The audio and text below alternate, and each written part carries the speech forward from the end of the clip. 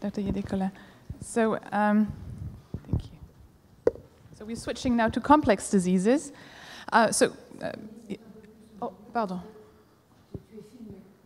Ah.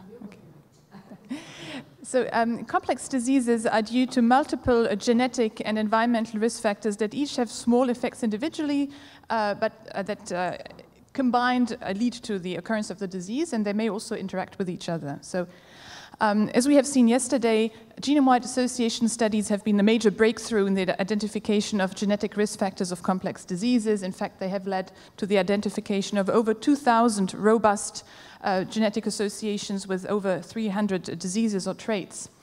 Uh, and in fact, the pace of discoveries continues to increase quite steadily. So some uh, diseases have had a, uh, quite a rich harvest with uh, over 95 genes discovered for lipid traits, for instance, between 45 and 70 genes for Crohn's disease, type 1 diabetes, or coronary heart disease. So for other diseases such as stroke, for instance, the number of genes discovered is less, and this is in great part probably due to the heterogeneity of the disease. And it seems that um, actually most of the genetic uh, risk variants for stroke lie at the level of the subtypes, as has been shown by the Metastroke uh, study and also by uh, uh re more recently by the dissection at GWAS which is dissection, cervical artery dissection being one of the major causes of ischemic stroke in, in young adults. So one interesting observation uh, that uh, came out of genome-wide association studies is the amount of pleiotropy um, um, across uh, complex diseases. So pleiotropy corresponds to shared genetic variation across traits or diseases. And it turns out that 16% uh, of the genes that were identified through GWAS are shared across at least two different uh, traits or diseases, and about 4% of the SNPs are shared.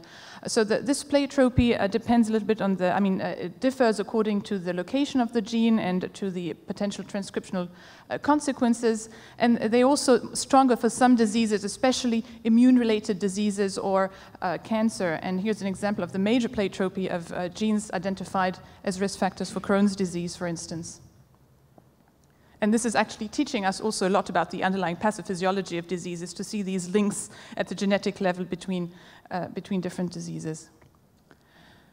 So despite these major advances, uh, GWAS have a number of limitations. First of all, as we uh, mentioned briefly yesterday, with a few exceptions, they have identified only genetic markers, and the causal variants and causal genes are, so far uh, largely unknown. The second important limitation is that until now, even in cases where a very large number of genes have been identified, these genes uh, actually explain only a very small proportion of the heritability of the disease as uh, has been estimated by family studies, typically about 10% or less. And finally, a very strong criticism has been that to date there have been very little clinical applications of these findings. So I will just uh, discuss briefly each of these limitations. So First of all, about the um, uh, significance of these variants that are identified. In fact, it turns out that the vast majority, 93% of the SNPs identified through GWAS are located in non-coding regions. Um, so these may be involved in transcriptional regulation, and we have uh, now a much better understanding of what they may mean through the uh, recent ENCODE project that was um, published by, uh, I think, uh, eight uh, simultaneous paper in Nature and, and then Science and 20 companion papers at, at, the end of last year, and that gives a very comprehensive description of functional element within the genome. So this may, helpful, uh, may be very helpful in annotating the, uh, the, the GWAS findings. And they have shown, for instance, that actually the um, SNPs identified through GWAS more, more often and significantly more often map to DNase hypersensitive sites or to transcri transcription factor binding sites than would be predicted by chance. So um, that is quite interesting.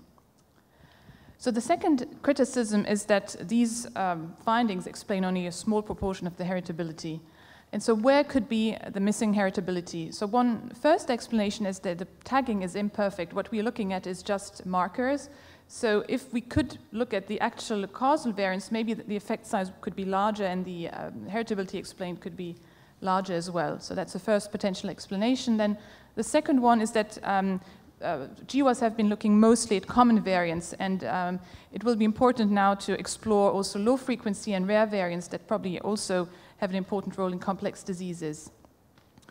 Uh, in addition, GWAS uh, are not very good for um, uh, capturing structural variants, such as copy number variants, for instance, which uh, have been shown to be important in uh, many, several complex diseases, especially psychiatric disorders such as autism, for instance. then um, the polygenic component has been quite popular lately as well, uh, meaning that um, variants with small effects uh, may not be detected individually, but when combining them in a polygenic score, this may also contribute to the heritability of diseases. Um, then gene environment, gene-gene interactions haven't been accounted for sufficiently yet. And finally, um, not all genetic variation lies at the level of nucleotides, and there are also epigenetic modifications such as um, uh, changes that modulate the packaging of DNA and uh, can um, um, influence the expression of genes. So I would just like to um, spend a little more time on the low frequency and rare variants, and I, I, can skip actually this slide, which was explained very much in detail by uh, Professor Tournier Lasserve. I just want to point out that um, next generation sequencing has also been, the, has been probably the, the, the, second major breakthrough for genetics of complex diseases after GWAS, because it enables much cheaper sequencing of larger samples. Uh, so one specificity compared to analyses that had been performed on common variants is that for uh, the analysis of rare variants, uh, um, more elaborate statistical techniques need to be used uh, because of the lower power due to the low frequency of the uh, uh, variant studies. So um, the, the, the, rare variants tend to be combined within a gene to obtain sufficient power.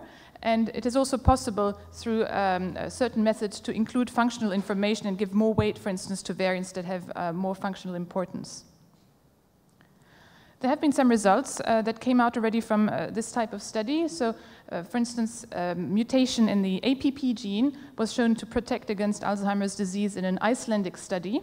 So it should be noted that, in fact, population isolates are, very appropriate for studying rare variants because uh, you have uh, an increased genetic homogeneity and then the rare variants tend to, to, drift up in frequency, so it is a little bit easier to study rare variants in population isolates. However, there have been some successes as well in uh, studies that have not used population isolates, um, such as this one that identified an association with TREM2 variants with Alzheimer's disease as well.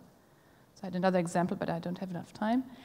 And finally, the foremost criticism, I think, has been the seemingly slow pace of converting GWAS findings and, uh, well, findings from complex disease genetics in general to clinical applications. But uh, it should be, uh, people should remember that in fact most uh, GWAS findings uh, are just two, or three years old. So this is very little time. And in fact, in the past, the conversion from uh, scientific discoveries to clinical applications has been much, much longer than that. So um, there are some uh, you know, promising elements suggesting that eventually we may, this may lead to some clinical applications. What is expected from these findings well, the, the, common point is that it will hopefully improve our understanding of the underlying biology, and this has been shown, I, know, I think now for several examples. And this improved understanding could lead to novel therapeutic target and strategies. Probably this will probably be the, the, the biggest application, perhaps in some instances to better risk prediction, and uh, also in some more limited situation to um, you know, personalized, so-called personalized medicine personalized medicine taking into account genetic uh, um, variation uh, for drug response and toxicity. So just a few very quick examples uh, for each of these aspects for drug development. So uh, genetics of Crohn's disease have highlighted the, the, the, big importance of autophagy in this disorder, and, and this opens avenues for new uh, therapeutic strategies.